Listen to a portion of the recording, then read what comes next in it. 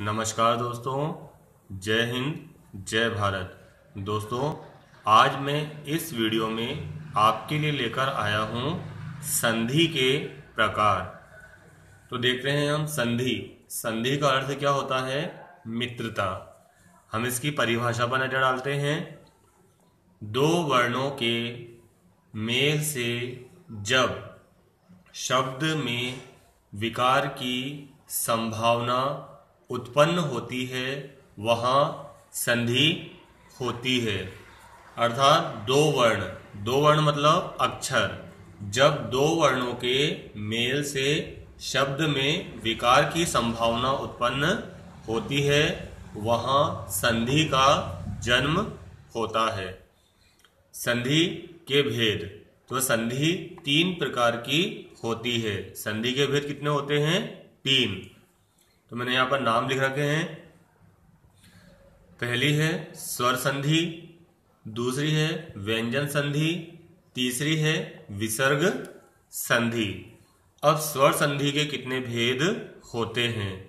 तो स्वर संधि के पाँच भेद होते हैं। स्वर संधि के कितने भेद होते हैं? पाँच। तो पहली कौन सी होती है? दीर्घ स्वर संधि दूसरी, गुण, स्वर संधि। तीसरी, वृद्धि, स्वर संधि। चौथी, यण, स्वर संधि। पांचवी अयादि स्वर संधि। तो दोस्तों, बोर्ड की परीक्षाओं में सही विकल्प बनकर आता है कि संधि के कितने भेद होते हैं। पाँच छ तीन, दो। तो आपको कितने लिखकर आने हैं? तीन।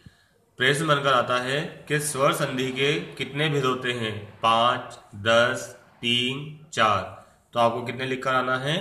पाँच। हिंदी में आपको स्वर संधि के भेद कितने लिखकर आना है? पाँच।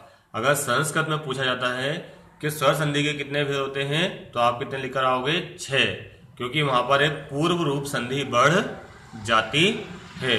तो स्वर संधि के कितने भेद हुए? पाँच। दीर्घ संधि, गुण संधि, वृद्धि संधि, यण संधि और अयादि संधि। अगले वीडियो में हम इन बिंदुओं पर विस्तार पूर्वक चर्चा करेंगे। धन्यवाद दोस्तों। जय हिंद, जय भारत।